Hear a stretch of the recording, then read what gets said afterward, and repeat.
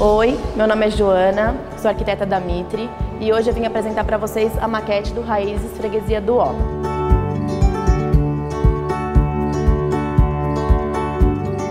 O acesso de pedestres do empreendimento acontece na Brito Peixoto. Temos o acesso de estúdios com serviços e o residencial totalmente independentes. A Brito Peixoto tem 10 metros de desnível. Descendo a rua, temos o acesso das lojas, com duas vagas,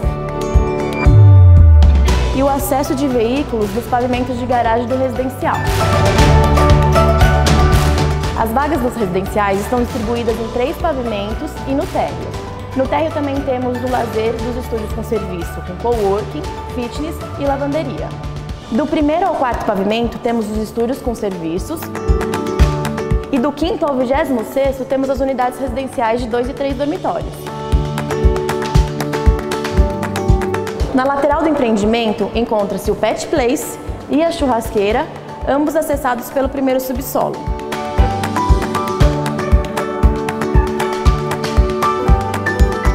O lazer do residencial está concentrado no primeiro pavimento. Na área coberta temos o Sports Bar, fitness com pilates, espaço gourmet que pode ser ou não integrado com salão de festas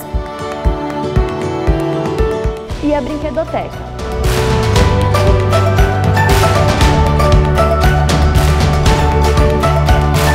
Na área de lazer externa, temos a Praça da Lareira, o playground, a piscina com 25 metros de raia, piscina infantil e o solário com bangalôs.